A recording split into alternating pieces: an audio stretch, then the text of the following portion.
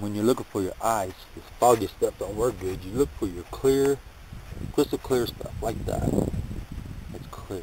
I'll break some off and show you. Uh, this is the piece I got out I'm going to work with. Gotta make sure it's clear, like this.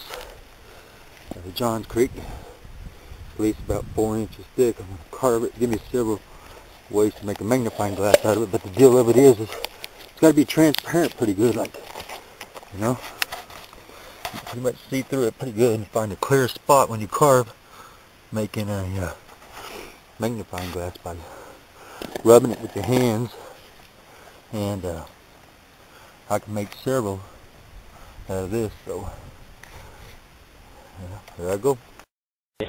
Out, round, and uh, that's about how big I'm going to make it.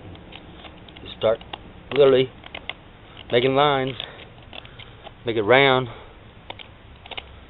and uh, of course when I get draw my lines there, I keep chipping at it and take my knife and cut and cut and cut, and uh, I will make this round and all the way through. So it'll be, I'll get back with you, get most of the carving done. By rubbing it, the, the good round part on it, and just keep keep rubbing, rubbing it, rub it flat, and uh, it will uh, melt it, melt it off, melt melt it round, and get your pitch, and, just always, you know, eyeball it, get that perfect little slope like a magnifying glass, and, uh, and it'll work. Flat here. And uh, tried several pieces and this works the best. With this cold blast it really got thick it's thicker than this but that's what I got. And uh, and it works. It works really good. Fire ice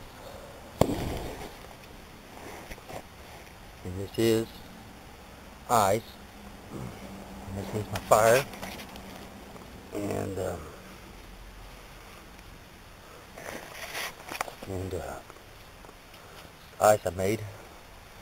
It is solid chunk of ice carved out of the creek and uh, made fire as you've seen there. We're still smoking. In a minute you'll see my hand rub you'll see the the water come down. Okay. This is my eyes This is my fire. Mm. I got just blowing it to go and it's still going. But that's fire by ice.